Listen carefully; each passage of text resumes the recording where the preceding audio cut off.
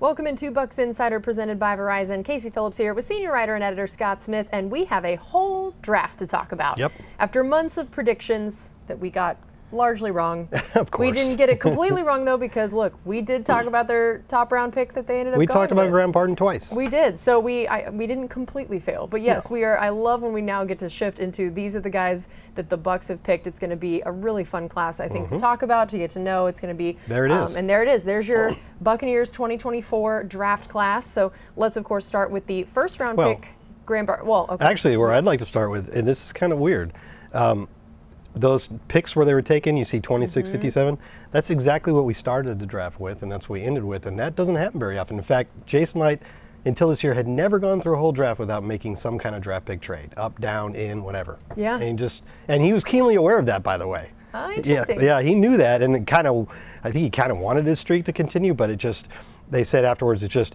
anytime there wasn't a time when a guy got close enough that they thought it was important to trade up for him. There was, you know, enough guys that they didn't have to, or when teams called about them wanting to trade back, There they were like kind of locked in. yeah. So it just didn't happen that way. But I also find it interesting. I think that says a little bit about um, how much the Bucs wanted Graham Barton because it, it- they said they had a couple guys when it was getting close to them. They had a couple guys, and it's clear they weren't willing to trade back because they thought they would lose him. He was their number one guy when it came in 26. Now, um, Graham Barton, um, out of Duke, probably going to play center. Uh, really, he, he's got a ton of experience. He's a road grader. He's got kind of on that on-field nasty demeanor that you want. Um, he should be. He should be an instant starter at center, um, which means that the Buccaneers are still looking for somebody at left guard, and that will probably come down to you know they added a couple candidates during the season or during the offseason in Ben Bredeson and Sua Opeta. They'll get a chance. Um, maybe Robert Hainsey now that he's starting can fact, fact not wouldn't be the starting center can factor into that competition. And then they even mentioned the possibility that Cody Mauch, who started as a rookie at right guard but was a left tackle in college, could possibly move to left guard, play on the left side. Uh, but then of course you need a right guard, so you're having the same com- conversation. Yeah, that's going to be really interesting. And man, I am. I was so excited when Jason goes to the podium after picking him, and he says this guy has basically the the brain of an Ali Marpet. I know, wasn't that the great? on-field demeanor of a Ryan Jensen and the personality of a Tristan Wirfs, and everyone in there just went, Yeah, it was like What? they built him in a lab. Yes, exactly. then he just took this, built the sort of Frankenstein's Yeah. monster of all the different parts and pieces we would Yes. want. I was like, that is quite a statement. So I'm very excited about that. And you know, we had talked about before the draft of based on just kind of need what we expected them to do. The top two things we'd said were inside, you know, interior offensive line and then edge, Edge rusher. rusher. And there you go. Which they hit in the One, second two, yep. first two things. So tell me about our edge rusher second round. Chris pick. Braswell from Alabama. Um, he's a he's a powerful guy. He can overpower you. Um, he's also got good speed. He had great production in college. Uh, I think he had eight sacks last year. He actually led Alabama in quarterback pressures with 56, which was one more than Dallas Turner, who was one of the first defensive players drafted.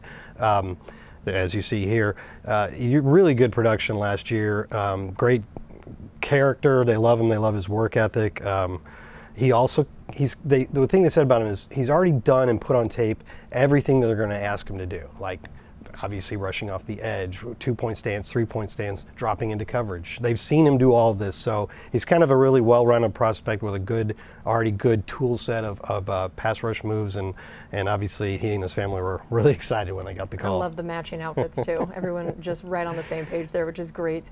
Um, yeah, I know you mentioned the dropping back in coverage. I think that's a very underrated part of what Bowles likes to have. I mean, we've watched guys like Anthony Nelson, who you would not necessarily imagine, especially being as tall as him, get asked to do it.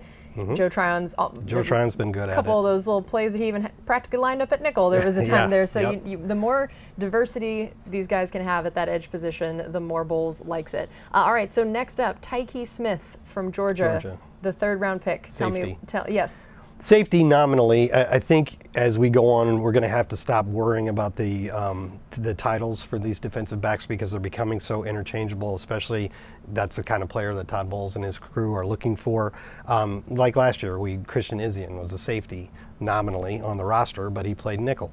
Well, that's uh, same thing here with Tykee Smith. He can play. They're going to train him originally at uh, slot corner and at strong safety. He's going to have a real good shot to win that um, slot corner job. He's he, he's shown he could do that. He's got the nice feet and change of direction skills. He can blitz, which is good when, for a slot guy because where they're lining up so close, close to the quarterback. He's a really good hitter, and that Georgia defense. Um, has been fantastic for the last whatever mm-hmm. three, four, five years, and they considered him the heart and soul of that defense, and that tells you a lot. Um, you know, it's just I, I, I just think he's going to be a nice fit. He's kind of uh, there was a there was a cornerback that everybody wanted from Michigan named Mike Sainristil that went in the second round. I think we liked him as well. He went before us. Tykee Smith is the same kind of player mm. with that ability to play in the slot, feisty, hard hitting. Yeah. So um, real nice, real nice addition. A lot of competition there. Obviously, Christian Izien is, will still be in that competition as well, and Tavierre Thomas, a guy we signed in free agency. So you got at least three decent candidates for the slot corner job. That'll be interesting. Lots of competition. camp for sure. Uh, and then next up, Jalen McMillan out of Washington, our other third round pick. I love this pick. I, he's just last year he was a little hampered by injury, but we're talking about a guy that was in an offense that included Rome Odunze, who went ninth overall, and Ja'Lynn Polk, who I believe went 37th overall, mm-hmm. and they still found a way to get this guy the, the ball a lot. I mean, in his he tells was, you he earned it. Yeah. Yeah. Well, I mean, it tells you he was a priority for their quarterback, and um, he was he, like I said, he was a little bit hampered by injury last year, but the year before that, he had 100 and, I mean, 1,098 receiving yards, I think, tons of touchdowns over the last two years. He's a kind of a, a bigger slot corner, a lot like Chris Godwin. So he can fit right in right away. And if you play um, Chris on the outside on, mm-hmm. on, certain snaps, he can be in the slot. He played about 90% of his snaps in the slot, Jalen right. McMillan did. Um, and he can learn from Chris because Chris is kind of the grade A example of a big slot corner. So, um, you know, it's just, I felt like the Buccaneers needed more depth at receiver. Uh, you know, obviously you start with Mike Evans and Chris Godwin, and that's awesome. But after that, it's pretty inexperienced crew. Trey Palmer showed a lot last year, but mm-hmm. you just got a lot more for your quarterback to work with here. That, yeah, that makes a lot of sense. And now Bucky the Buccaneer, who doesn't love that? It was destined yes. to be. We didn't get TJ Tampa. it was close. It was close, but you know what? We'll take a Bucky for sure. Bucky Irving out of Oregon, fourth round pick. Tell us about this guy. Uh, he, the thing about him is he's not the biggest guy in the world, but he is hard to tackle. Obviously, you can see he's got breakaway speed there, but he forced more missed tackles than any other running back in, in the FCS last season. And that's pretty impressive. He's also a good pass catcher, so he can be an every down back, as you can see here. It's a great photo. 136, yeah, like he, that guy really missed. Yeah. he got one piece he's, of his he's jersey. He's hoping it's flag football all of a sudden. if I just pull this, maybe it'll work. He had more than 1,000 yards each of the last two seasons rushing, uh, 13 total touchdowns last season, and his 56 receptions also led FBS running backs. I think I said FCS before. Mm. But yes, I get those two confused. Yeah. Anyway, obviously top mean. level competition. Yes. Um, I'm not real great with college football. Yeah. Thankfully now they're not college anymore. They're here with us, so true. now they become part of your expertise. Um, yeah, and I also can't wait for us to make our Bucco Bruce logo. Right. Our Bucky Bruce logo. Yeah, We're just so gonna have to put his face on that at some point. R- we've talked about this before, but Rachaad White led all running backs in the NFL in offensive snaps last year, which is you know it's impressive, it's amazing. but maybe yeah. not what you want. Yeah, you want to give him a little bit of help, maybe give him a little bit of a breather, and to know that he's another back that can do the pass catching yep. and the running like you and therefore when you put one or the other of them in it's not a dead giveaway on yeah. what you're trying to do exactly. which is also really great all right next up elijah klein out of utep yeah there was there was a real long gap between the bucky irving pick and the elijah klein i think mean, epochs passed it was like it, it, felt like I, it was it was literally hours and hours. Lord of the Rings trilogy, you know, all these things happen. Yes, uh, and then we got to pick again Elijah Klein, first guy that wasn't out of a giant program. I guess Duke isn't a giant program, but it's still UTEP. Yeah. Um, yeah, you look at Alabama, Georgia, and obviously we didn't even talk about this. Washington. How much do our scouts we, love? Yeah.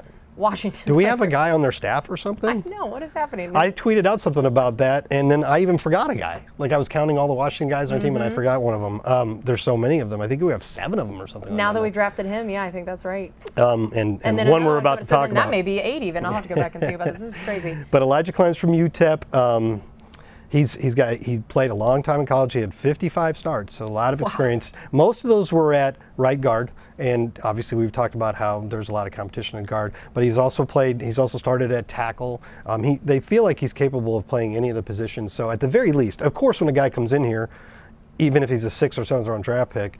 He's hoping, and the team is hoping that at some point maybe he becomes a starter. And so we, we're not putting a cap, we're not putting a ceiling on Elijah Klein. I'm just saying, at the very least, as a rookie, he could offer a lot of value as a backup who's active on game day that can play all the positions. Yeah. So uh, just a real the same. They said he had the same sort of mentality and style of play as Graham Barton, the first round pick. So they're they're really excited about grabbing him in the sixth round. That's wonderful. And then Devin Culp again, Washington. Washington. I, we do we we just need to station someone there. It's almost like the way the military has bases. Right. That the Buccaneers just need to have a base at Washington. There's going to be a click in our locker room. Yeah. They're going to be like the uh, they're going to be walking around like a big group, like we own like this a, place, like Yeah. a group of Like a huskies or gang, something. yeah. Like a pack, a pack, pack I guess. huskies.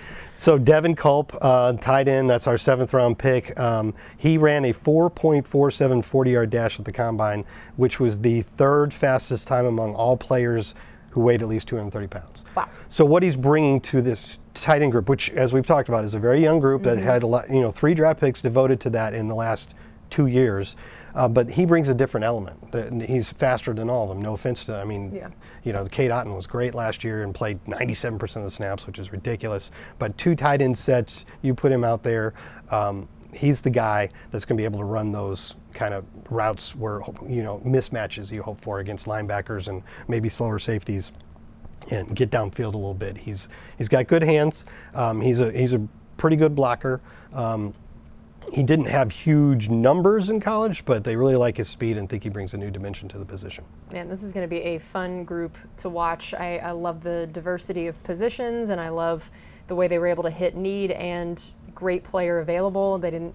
At no point does it seem like they were reaching for anything, but they were able to get all these different areas that we talked about that they needed. And I mean, when you hear Jason Licht say, "Man, I almost wanted to make a trade," I know about this, but I just this all worked out so well. It feels really great. Yeah, you know they give out draft draft grades right afterwards, which we all know is ridiculous Yes. because you can't really tell for a few years. So we're obviously optimistic at this point. I give it an A plus plus. Mm, yes. Yeah, that's my grade. Which very, very much means like that's exactly it. We know everything we need to know. They're going to be great. Um, it is going to be a fun group to watch. All right. Well, thank you so much for joining us on this post draft edition of Buccaneers Insider. We'll see you next time.